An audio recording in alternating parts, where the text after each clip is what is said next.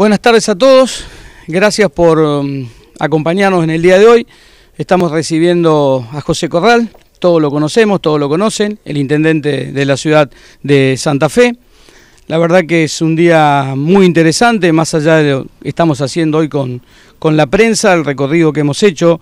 Hemos ido a la empresa Leritier, hemos ido a TEC, otra empresa muy importante en la localidad, donde el intendente ha podido apreciar una, una cuestión que viene haciendo un recorrido, por en este caso por el departamento de las colonias y por toda la provincia de Santa Fe. Eh, todos sabemos que estamos en épocas muy difíciles, atravesando momentos eh, muy, muy complicados, pero creo que en este caso José se va bastante compensado por lo que hemos escuchado de las empresas locales en, el sentido de la apuesta que hacen al, al futuro. Y bueno, era simplemente hacer la presentación, hacerle el agradecimiento y le voy a dar el micrófono verdaderamente a, quien le interese que ustedes le pregunten, que es eh, a José Corral. Bueno, muchas gracias Raúl, muchas gracias por acompañarnos, gracias Ángel por este brindarnos tu casa. Eso tiene un valor excepcional para nosotros y compartir con nosotros el arte que es parte de la vida y este, las cosas importantes que tenemos para hacer también. Así que estamos muy a gusto en San Carlos, es una comunidad de trabajo donde hay una, muestra en realidad de lo que podemos los santafesinos y los argentinos.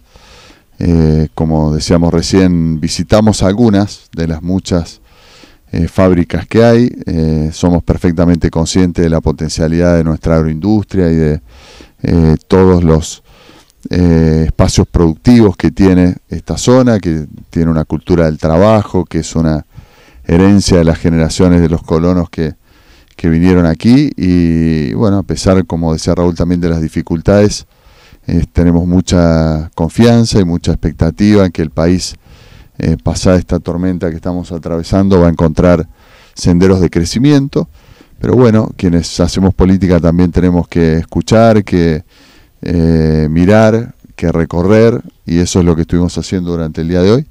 Así que estamos disponibles también para las consultas y muy agradecido a la comunidad de, San Carlos que nos recibió. Estuvimos también con el intendente, pasamos a saludarlo.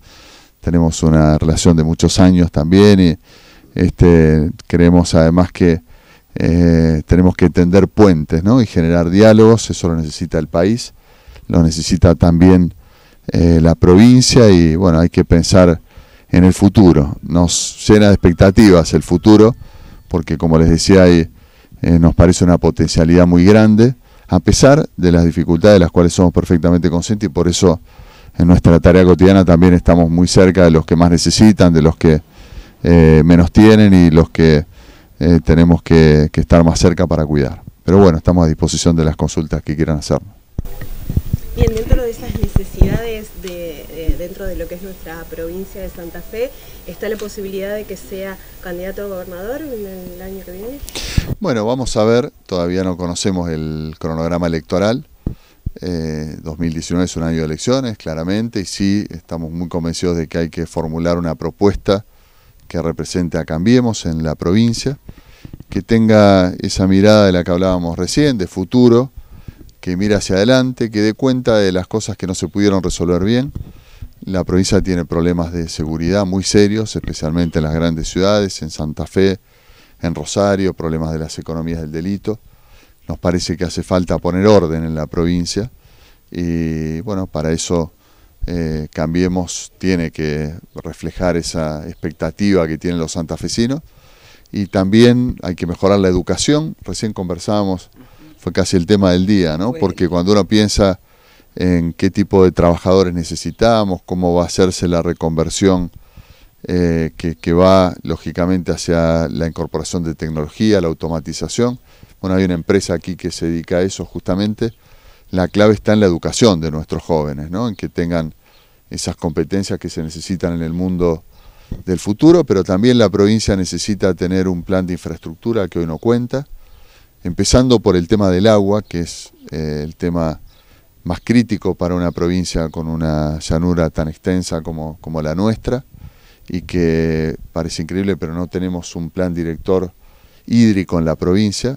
Santa Fe es un buen ejemplo de que eso se puede hacer bien. Nuestra ciudad resolvió eh, tener un plan primero y luego ir avanzando con las obras.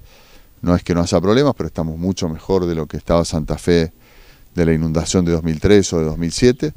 Y necesitamos también un plan de, eh, de infraestructura vial que está asociado a lo hídrico y que la provincia necesita. Sufrimos cuando hay exceso de agua, sufrimos como en este año cuando hay falta de, agua y eso tiene que resolverse con un plan de infraestructura, bueno, entre otras cosas que, la provincia necesita y para lo cual cambiemos tiene que ser una, una expresión y una, un canal para llevar eh, estas propuestas ¿no? hacia, hacia esa Santa Fe del futuro que como decíamos tiene tanta potencialidad.